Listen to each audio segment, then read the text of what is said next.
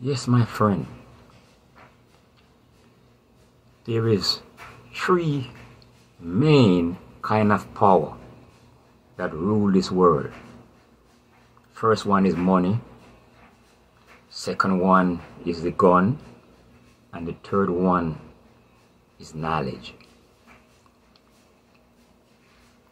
Men who lack the will to understand other men became like the beast and the beast's way of life become his.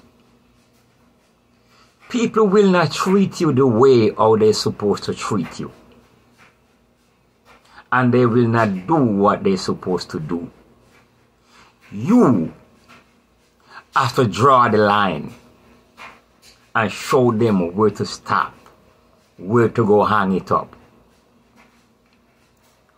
One of the way to make people do what they're supposed to do is to be able to touch their self-interest.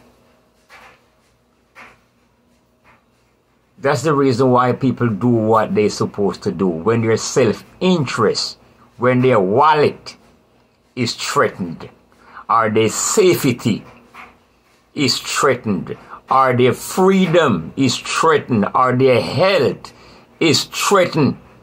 If somebody know you're gonna hit back when they hit you, they think twice of hitting you.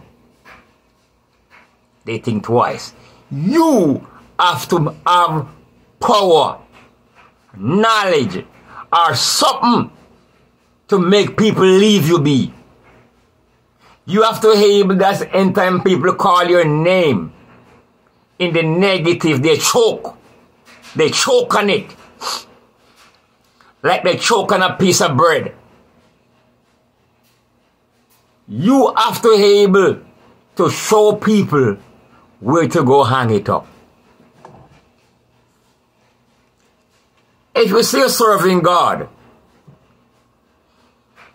you have to be willing to research.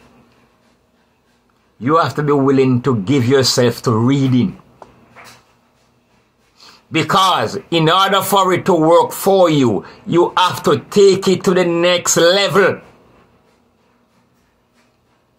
You have to take it to the level of the apostles and the prophet and beyond to survive and to let people leave you be. Otherwise,